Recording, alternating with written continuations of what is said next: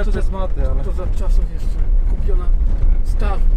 tak myślałem. Pierwsza, pierwsza lornetka, dobra, tak?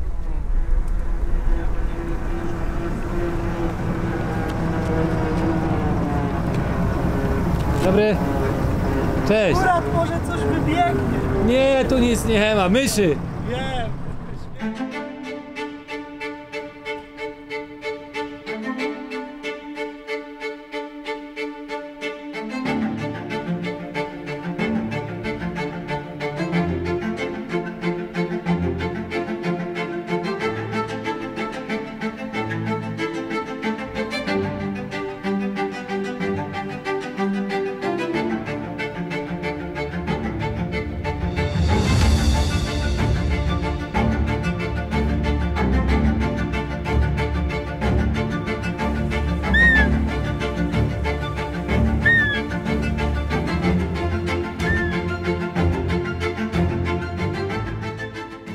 Witajcie kochani. Wiecie doskonale o tym, że prawo łowieckie jest cokolwiek niedoskonałe. Natomiast e, daje nam taką możliwość, z której ja korzystam często i z wielką przyjemnością, zarówno goszczenia w różnych łowiskach, jak i zapraszania gości. I w dniu dzisiejszym chciałem zaprosić Was do wspólnego polowania ze znanym e, i na pewno lubianym naszym kolegą myśliwym, prawnikiem i jestem bardzo, bardzo wdzięczny zarówno Tadziowi Mirczewskiemu, jak i Tobie za to, że ten jakby cykl rozpoczęliście. Także e, spędźcie z nami następne kilkanaście minut na wspólnym podchodzie, na wspólnym polowaniu. Dziś za cel obraliśmy sobie rogacze. Będziemy polowali wieczorem i o świcie. Może lisek, może jakiś zaplątany dzik się pojawi. Na razie e, muszę Wam powiedzieć, jest e, cichutko, spokojnie, bez emocji większych. Oglądamy, rozglądamy się, rozmawiamy na temat bezpieczeństwa, rozmawiamy na temat przepisów. Także usiądźcie wygodnie w fotelach i dasz bór.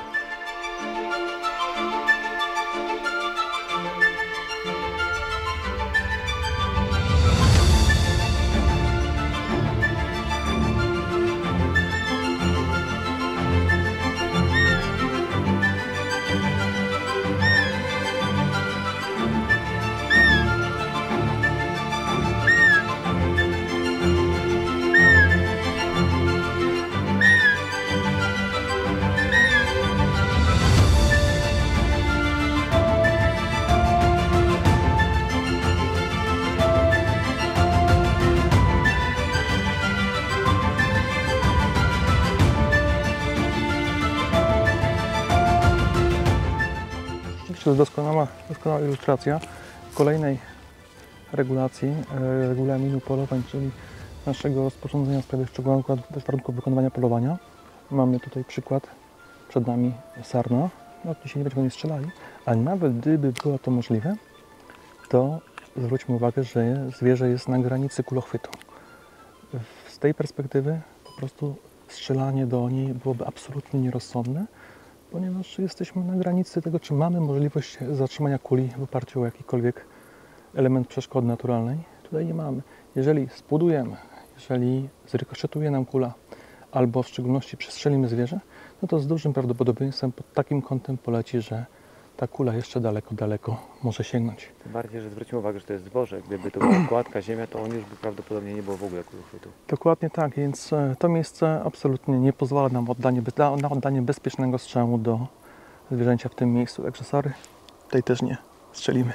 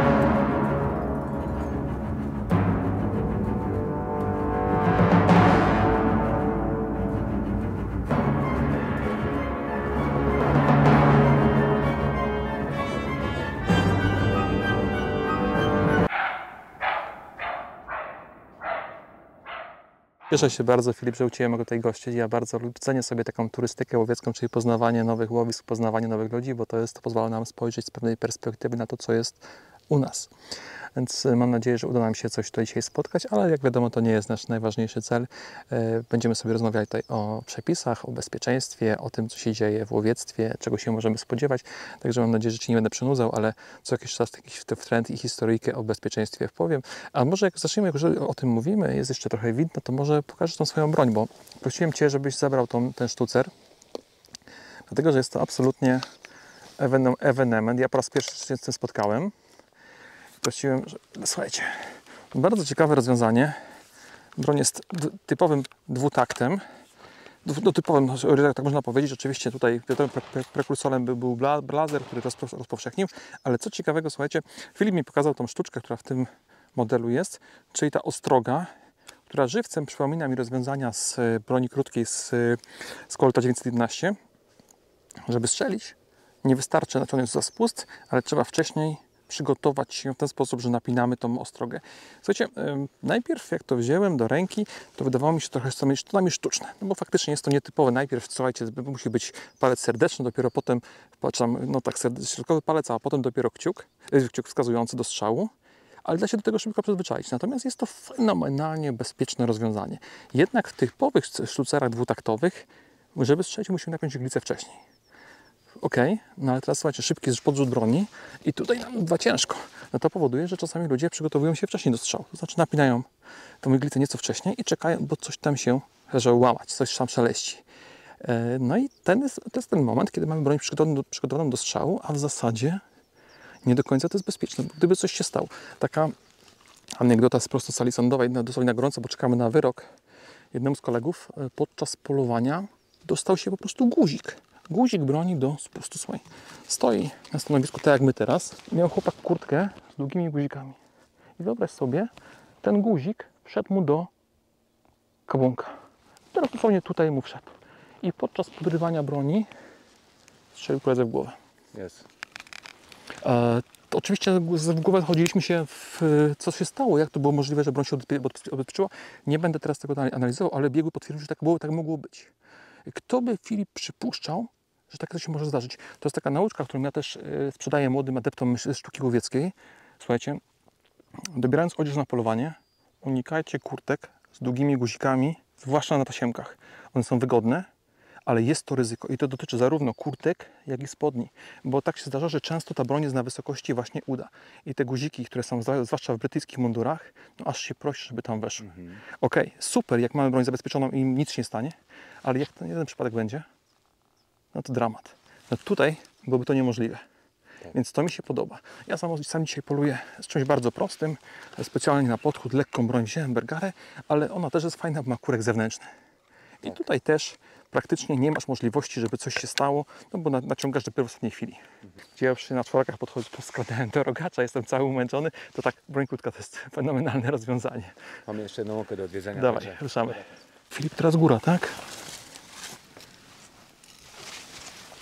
Kolejna zasada bezpieczeństwa, czasami zapominana. Wchodząc na ambonę, musimy broń rozładować. Nie tylko nie napinać iglicy, ale ona musi być w ogóle rozładowana, bo jakbyśmy spadli, to może nastąpić przypadkowy wystrzał, a wiadomo, te wszystkie urządzenia o, na przykład tutaj też trzeba mieć polu widzenia, ale pozwól, że ja wejdę na górę i zobaczę. Pamiętajcie, e, zawsze nogi jak najszerzej, bo jak się szczeber złamie, to się na kolejnym złapiecie, a jak dacie na środku, to lecicie w dół. Także nogi szeroko i chłopcy, i dziewczyny.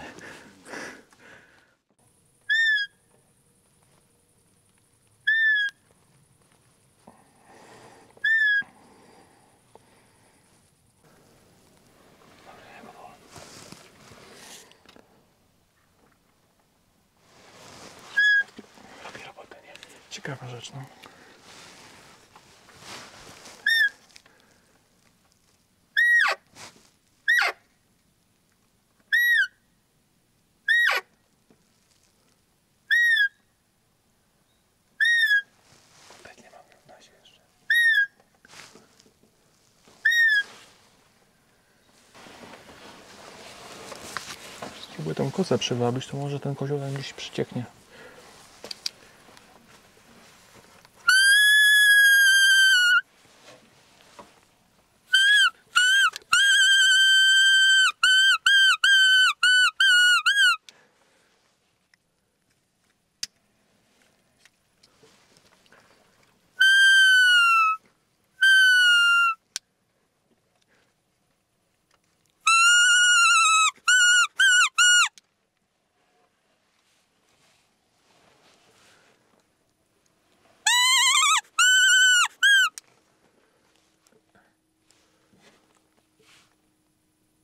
Zwykle jest tak, że ranki są lepsze.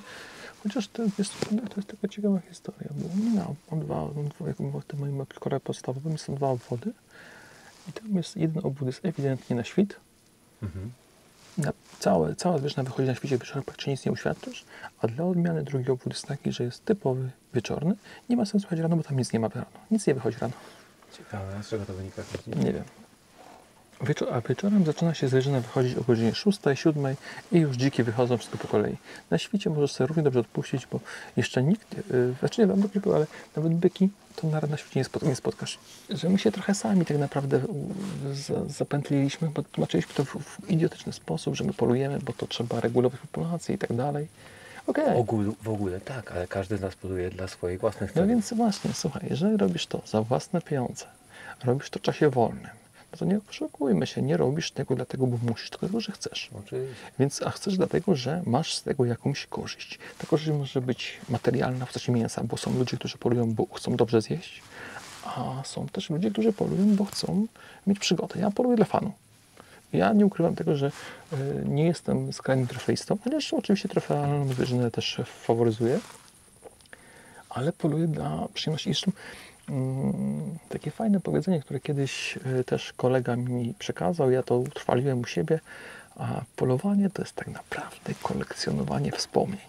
A tak naprawdę jeszcze kolekcjonowanie wspomnień w dobrym towarzystwie. Wiesz, nie jest sztuką strzelić, tylko potem zapamiętać tą historię, gdzie byłeś u kogoś, czy z kimś, jak sobie przeżywałeś przygodę, to, to po to polujesz. Wiesz, e, osoba, która jest ze mną, nie może zrozumieć, bo tego się nie da wytłumaczyć tak racjonalnie. No co, piękna zwierzę, ją zabijamy. No, no, jak to wytłumaczyć? Ciekawe, ten, ten nawet, gdzie on się tam położył, ale on musi wstać za chwilę, bo on, on nie odszedł. To z tyłu chodzi.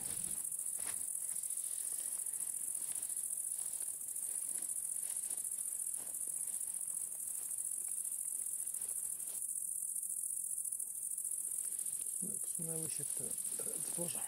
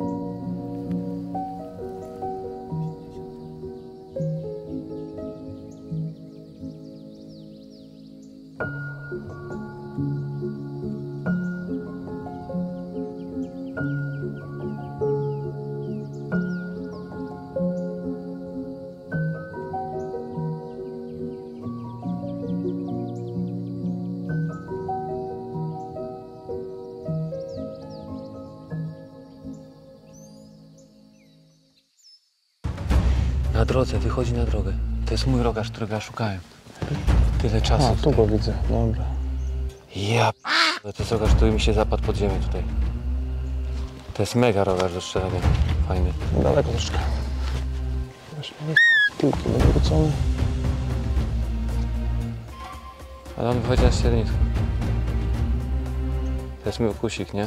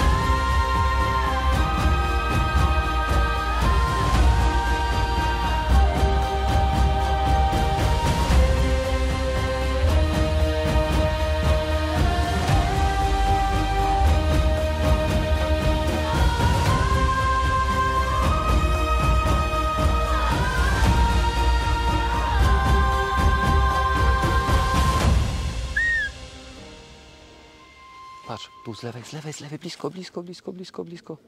Na kark.